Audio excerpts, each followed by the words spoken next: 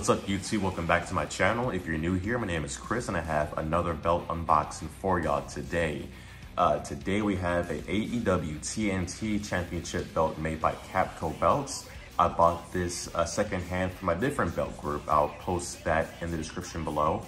Um, all I can say is just from the photos I've seen of it, this is by far the best replica belt plate-wise I've seen from any maker and on YouTube. Now there are some slight etching issues I'll go more into detail about, but overall the quality and the crispness of the belt, it just looks amazing. Um, what I can say about this belt as of right now, when it comes to the etching, it's pretty noticeable what was focused on the most I would say more so the main plate was focused on. The side plates could have a tad bit better etching, but as this unboxing goes along, you'll see that. And let's get right to it.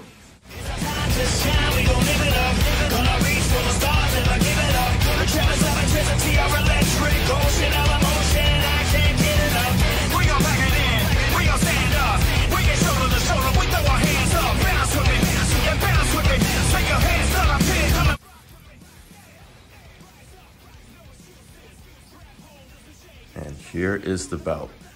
Now, I can honestly say there's no TNT replica belt that looks like this anywhere on YouTube. Um, I would say this more so looks like a custom made TNT belt because from the TV accurate ones, there's no silver plating on the champion, uh, I guess like ribbon at the bottom as well as these, uh, this texture behind the TNT. Now, what I can say, just from feeling it, it has great weight to it.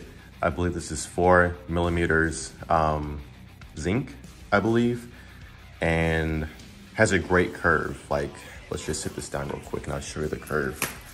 This has honestly the best curve I've seen on a TNT replica belt. Like it's, it's there it's definitely there. So I'll break into a more in-depth close-up look starting now. All right, so as you can see, this has pretty good etching. I got it for $250. I know some buyers or belt collectors don't mention how much they pay for these belts, but you get what you pay for. Um, the leather, it's it's okay not the best that I've gotten before, but it, it has some floppiness to it. I've had floppier leather though from like my Big Eagle belt from a few months ago. Um, I know I mentioned earlier about the etching. The only real issue I have with the etching is with the mansion. It could be a tad bit cleaner. It's pretty inconsistent when it comes to the windows the cross at the top of the mansion as well as the doors. Um, same on this side as well, but I feel like what makes up for it is the plating. Um, great plating minus this right here on the side. I'm not too sure if it was like that when the buyer got it or as time went on when the original buyer had and it could have gotten scratched or possibly like liquid got on it. I'm not really too sure about it.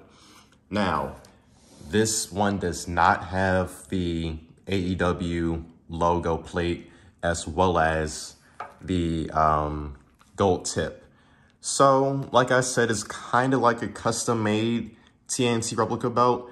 I kind of wish it did have a gold tip. I may get it um, re-leathered and re, I guess, plated. Not too sure if that's even like a real term, but I really do want to get a gold tip on there.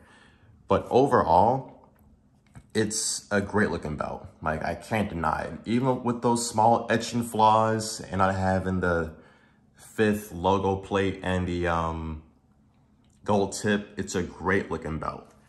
Um, I, I keep saying it. I really feel as though this is the best TNT belt on YouTube right now. It's It looks like a championship belt and it has a great curve, like really, really great curve. Honestly, it reminds me of a Wing Eagle curve um, from back in the day. It's really clean. Um, now, what I can point out with this belt, not too sure if the maker or if the original buyer tried to paint it. There are some red uh, blotches here and there. Maybe it did have red on it in the beginning and they took it off. Um, that right there is just a reflection from my um, blanket. But overall, it's a great belt. It looks amazing. Um, floppy test, pretty floppy for the most part. It stands pretty well. Um, it just glistens in the light. Like it's, it's magnificent. Uh, I keep saying it, even though it has those few flaws with the etching, as well as not having the um, logo plate and the gold belt tip, it looks amazing. I love it.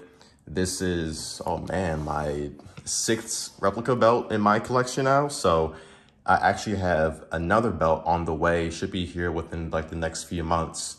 Um, I'll keep that a secret or a surprise for y'all because y'all will love that unboxing. Um, so just one last look at the belt.